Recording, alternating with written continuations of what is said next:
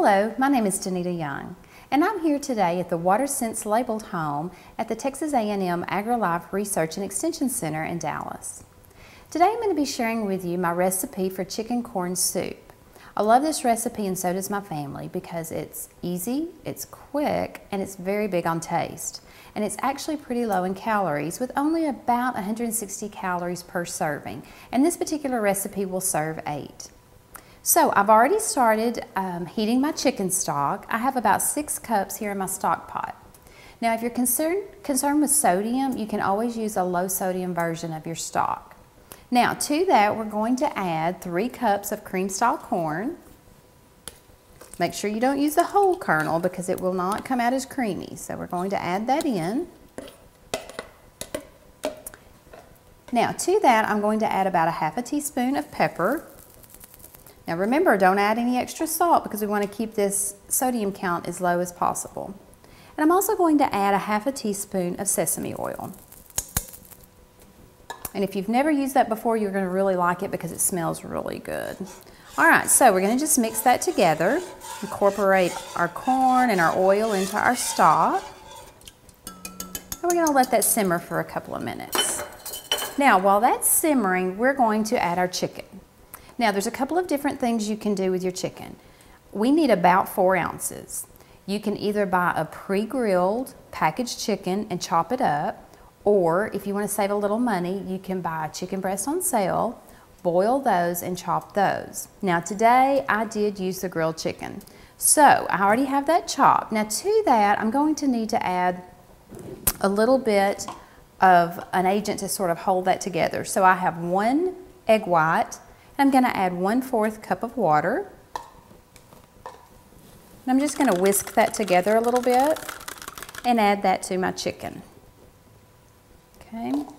Now, I'm just going to mix that together to make sure all of my chicken is coated with my egg mixture. Okay. Now that we have that put together, we're going to carefully add that to our soup mixture. And we're just gonna mix that together again. And it's already smelling good and I can smell just a little hint of my sesame oil.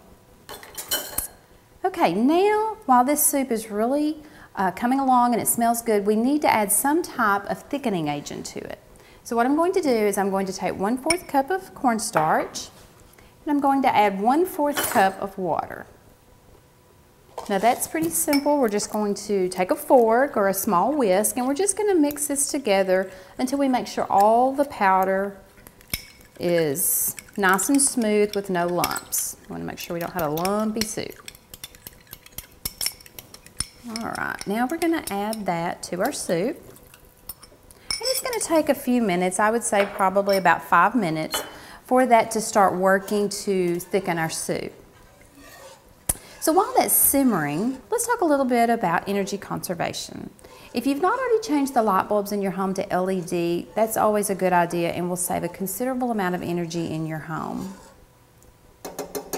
Okay, now we have one last step for our soup and we're going to take two egg whites and we're just going to whisk those together a little bit just to fluff those up. And we're going to incorporate that into our soup.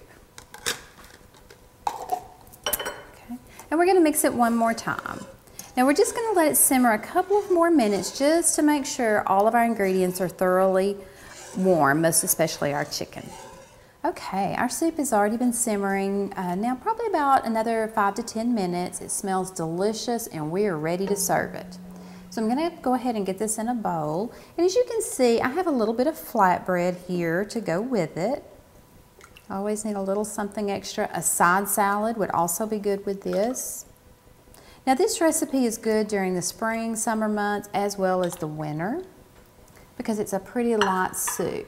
Now to this, you can garnish it with many different things. You can use bacon bits, sour cream, chives, but my family loves cilantro. So today that's what we're going to garnish it with. I'm going to put just a little bit of low-fat grated cheese on top.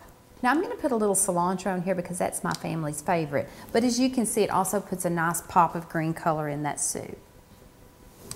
So next time you're wondering what's for dinner tonight, remember to visit us at Texas A&M AgriLife Extension Service for more ideas and resources.